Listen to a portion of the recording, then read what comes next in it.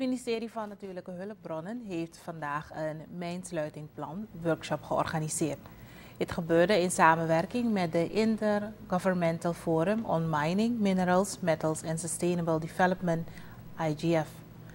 NH-directeur Dave Abeleven zegt aan journalisten dat het ministerie streeft naar een mijnbouwbeleid met een duurzaam karakter. In dat kader zijn er gesprekken geweest met belanghebbende groepen binnen de mijnbouwindustrie. De vandaag gehouden workshop is bedoeld als evaluatie van de gevoerde gesprekken met mijnsluiting als centraal punt. Abeleven legt uit wat mijnsluiting inhoudt. Er een gebied die bestemd is geweest voor exploratie en exploitatie van delfstoffen. Een gebied ge ingezet is geworden voor uh, het ontginnen van delfstoffen. Dat het op een gegeven moment zo is dat er een moment zal komen waarbij er geen delfstoffen meer uit de grond gehaald kunnen worden en dat dus het gebied uitgemeend is. Wanneer dat het geval is, is het eigenlijk sowieso de bedoeling en is het ook verantwoordelijk dat het gebied op een dusdanige manier achtergelaten wordt dat ten eerste zeker het milieu, uiteraard het milieu is beschadigd wanneer je gaat mijnen, betekent het simpelweg dat je omgeving verstoord zal raken.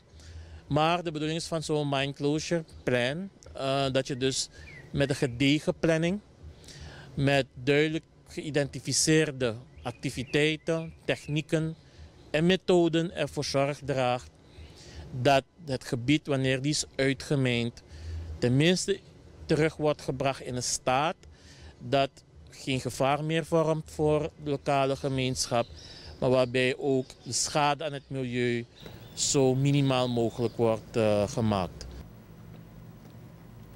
Abeleven legt verder uit dat mijnsluiting de afgelopen periode niet altijd even goed is afgewerkt. Het ministerie van Natuurlijke Hulpbronnen is daarom al enige tijd bezig de mijninspectie te versterken.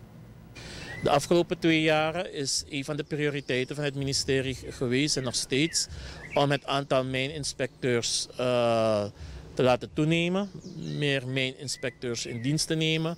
Is ons dus grotendeels ook gelukt. We zijn daar nog niet klaar mee, we gaan daarmee door. En de bedoeling is natuurlijk dat de mensen specialistische trainingen krijgen, vooral als het gaat om mine closures.